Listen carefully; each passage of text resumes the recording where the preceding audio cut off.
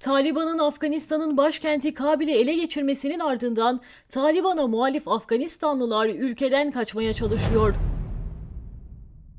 Amerika'nın askerlerini Afganistan'dan çekmesinin ardından hızla Afganistan'ın büyük bölümüne sahip olan Taliban kısa süre içinde başkent Kabil'i aldı. Cumhurbaşkanı Eşref Gani'nin ülkeden ayrılmasından sonra Taliban karşıtı Afganlılar ülkeden ayrılmak için hava alanlarında birbirleriyle yarıştılar. Sosyal medyada yer alan bazı videolarda Afganların havalanmak üzere olan C-17 nakliye uçağına binmek için koştukları görüntüler yer aldı.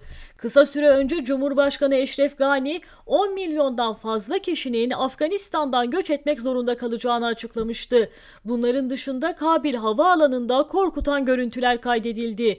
Onlarca Afgan kaçmak için gelen uçağın içine girmeye çalıştı. Uçağa binmek için adeta birbirleriyle yarıştılar.